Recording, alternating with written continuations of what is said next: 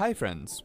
If you would like Google Chrome to open your favorite page every time you launch it, then set that particular page as your home page. Here's how it's done in a Windows 8.1 PC. On the Start screen, click on the Google Chrome tile to open it. When the browser window opens, click the Chrome menu on the top right corner of the window and click Settings.